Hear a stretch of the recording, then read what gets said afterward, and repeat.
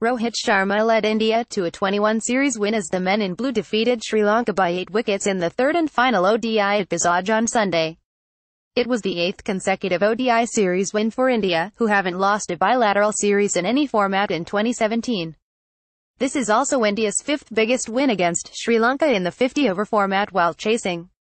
The last time Sri Lanka won a bilateral ODI series against India was back in 1997. Sri Lanka got off to a fantastic start today, but India won almost every over after the 30th of the visitors' innings.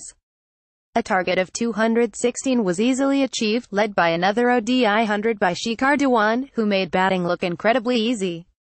Now, let's have a look at everything that went right for India, who won their second consecutive three-match series after going 10 down. 5 Dismissing UPUL Tharanga The scorecard of Sri Lanka's innings will serve as a perfect example of how to spoil a clean start. The visitors were enjoying a smooth sailing and UPUL Tharanga was clearing the fence at will with some support from the other end too. Betting on 95, Tharanga looked well set for his 16th ODI ton but Kuldeep Yadav and MS Dhoni had other plans.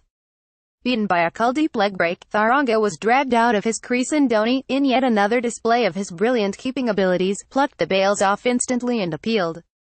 Sri Lanka, who were 1603 in 27.1 overs, were left so heartbroken after Tharanga's fall that they did not put up a fight at all and were bundled out on 215 in 44.5 overs.